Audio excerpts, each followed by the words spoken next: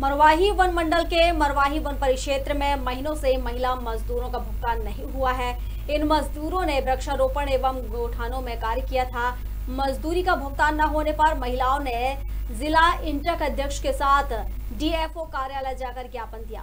One मंडल अधिकारी ने स्पष्ट तौर पर कहा है कि मरवाही रेंजर के द्वारा बाउचर उनके कार्यालय में प्रस्तुत नहीं किए गए थे, जिसकी वजह से मजदूरी का आया हुआ पैसा वापस हो गया।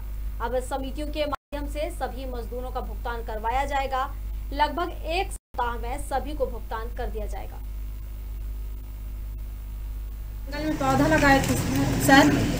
तो नहीं मिला है दस दिन दस दिन किए थे। कब किए थे आप काम? ये अषाढ़ में किए थे अषाढ़ में। हम्म, क्या बोल रहे हैं अधिकारी कर्मचारी आप? मिलेगा बोल रहे हैं। मिलता ही नहीं।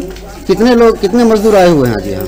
यहाँ बीस पच्चीस लोग। माला गाँव से आए हैं सभी? हाँ माला डांड से आए हैं। मालाडांड की समस्या आई है सामने में जहाँ पे मनरेगा की सूची भरने में देरी की वजह से कुछ पेमेंट नहीं हो पाए हैं जिसके लिए अभी मेरे द्वारा जाँच की जाएगी। और इसके अलावा एक प्लांटेशन का और कार्य था विभागीय मत के अंतर्गत। उसमें जो खाद मिश्रण का पार्ट था उसका बिल समय पर नहीं भेजने के बाद पैसा सरेंडर हो गया है तो उसको वापसी लाने की कार्रवाई की जा रही है। अभी तत्कालिक सहायता देने के लिए हमारे द्वारा समिति के माध्यम से इनको भुगतान किया जाएगा।